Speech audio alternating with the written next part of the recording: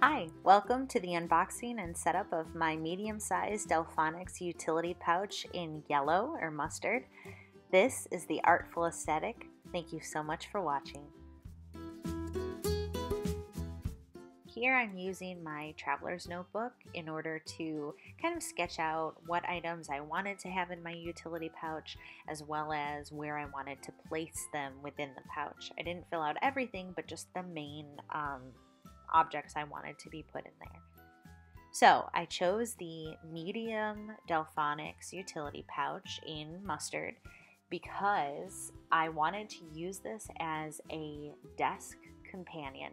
And I think that's something that's important for me to talk about um, because I try to keep my everyday carry as light as possible because I just don't want to be carrying around a bunch of weight.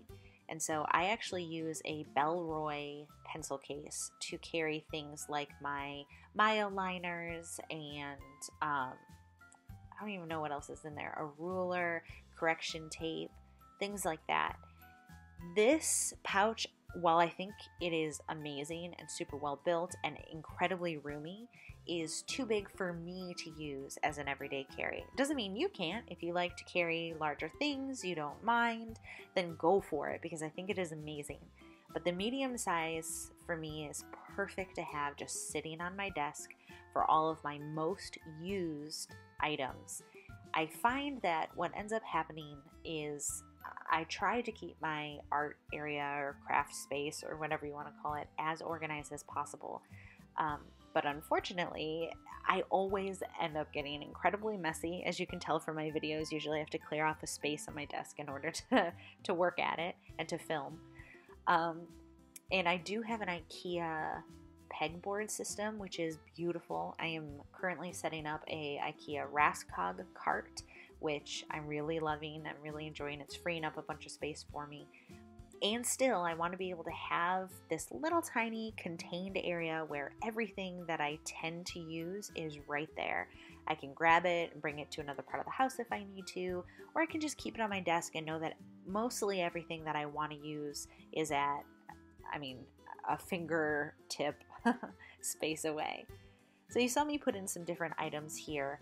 Um, I put in my traveler's notebook, which is from Eternal Leather Goods. It is standard size and it fit perfectly. I didn't know if it would. I was kind of nervous about the fit, but I find that if I keep it out, then I am not as inclined to use it because I end up creating a pile of traveler's notebooks and journals and art sketchbooks and all kinds of things. And so having it in here, I know where it is, I know how to get to it, it's easier for me.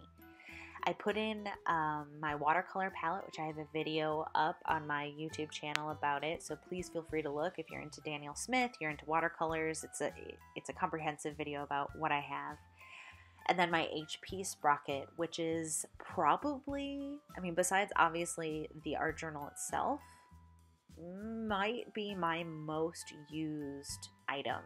I use it multiple times a week to print off pictures of my daughter or um, my wife and I or anything that I need. And so having it at at at beck and call right next to me is something that's really important to me. Then I wanted to start to put my craft items that kind of roll away or are hard to get off of my peg system, like the scissors, for example, are just hung on by a hook, which is impossible for me to get off quickly and I find it very annoying. So I have them in this pouch along with um, correction tape and tape runner.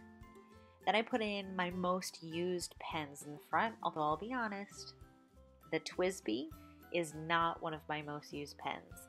I just find it kind of finicky. And I also lost the little wrench that you're supposed to use in order to tighten part of it. And so, I don't know. I just, I like pens. I like really any item that I can customize, but I don't have to baby. And I feel like that TWSBI pen I have to baby. And it's just not working out so well for me. But boy, is it beautiful. It's rose gold. I got it from my parents. So it's there because I love it. I just don't want to use it. I have my Lamy All-Star, my Holbein water brush, a Karas Kustoms copper bolt pen, a Pentel brush pen, an X-Acto knife, um, yeah, those are those are the items that I'm putting there. Oh, and then my little tiny Kaweco Liliput, which is the smallest fountain pen I have, and it is the cutest. I love that tiny little pen. I just think it is so cute. It works so well. I like the size of the nib. If you're looking for a small pocket fountain pen, the Kaweco Liliput. Gonna gonna recommend that one to you.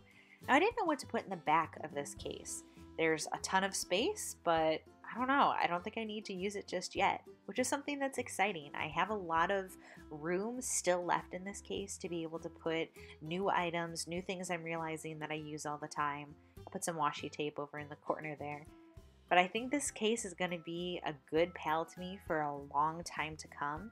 I'm really, really excited about it, and I recommend it to you, especially as a desk companion or if you don't mind a heavier everyday carry pop everything you need in there and bring it with you. I hope this was helpful. Have a great day. Bye bye.